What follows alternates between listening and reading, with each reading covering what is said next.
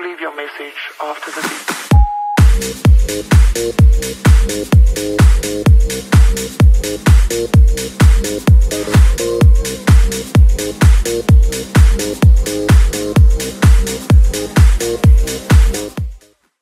Hello, guys today in this video I'm going to show you how you can create like this design in Kodular. So if you are new here then, hit the subscribe button, and this design is created by Sarcastic Designer. Follow him on Instagram, link is given in description box. If you wanted to convert your Google Play balance to cash then use the Play Bash app and get money next day or within 5 minutes with less commission.